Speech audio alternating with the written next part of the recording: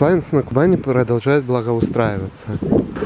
Сегодня в рамках целевой программы развития сети автомобильных дорог Краснодарского края совместно с муниципальным программой развития сети автомобильных дорог э, Славянского городского поселения и Славянского района общество с ограниченной ответственностью Югстрой Плюс производит укладку асфальта на участке улицы Краснодарской от Проточной до Ленина.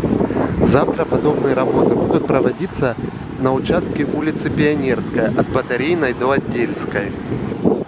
Уважаемые водители города Славянска на Кубани, будьте внимательны и осторожны на дорогах.